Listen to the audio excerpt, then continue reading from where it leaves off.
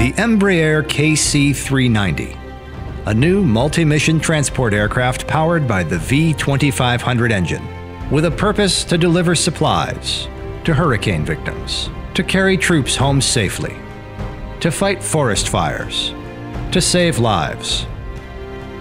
The V2500 engine brings nearly 30 years of proven reliability, an architecture and technology combination to make each mission a success.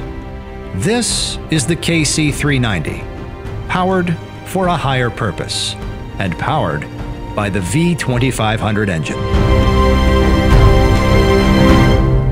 To find out more, visit www.pw.utc.com.